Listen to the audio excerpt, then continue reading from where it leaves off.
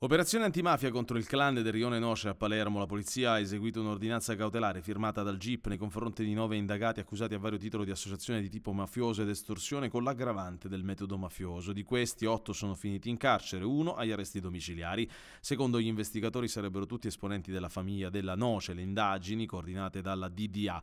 Il provvedimento nasce da un'indagine avviata nel 2020 dalla squadra mobile di Palermo e dal servizio centrale operativo della Direzione Centrale Anticrimine.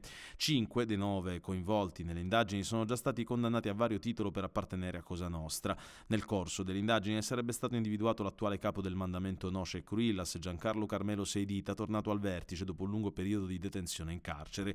La sua ascesa ai vertici di Cosa Nostra sarebbe stata favorita negli anni passati dai fratelli Lo Piccolo, i boss palermitani, alla presenza dei quali peraltro sarebbe stato combinato, messo a capo del mandamento.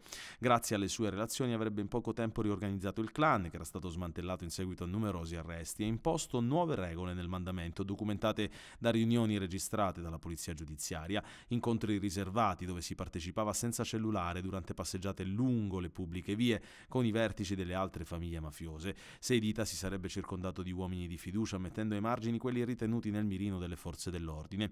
La Polizia di Stato, con l'operazione di oggi, ha ricostruito la nuova organizzazione del mandamento mafioso della Noce di Palermo, compreso chi aveva in gestione la cassa della famiglia. I nuovi vertici avrebbero fatto estorsioni a tappeto tappeto con l'imposizione del pizzo a tutti gli esercizi commerciali, una strategia criticata da alcuni affiliati poiché sarebbero stati vessati anche gli ambulanti e attività minori. Nel corso di una riunione del vertice mafioso sarebbe stato rimproverato al capo famiglia della Noce, Giancarlo Sedita, che nuove attività commerciali andavano sottoposte a un più incisivo controllo della famiglia mafiosa.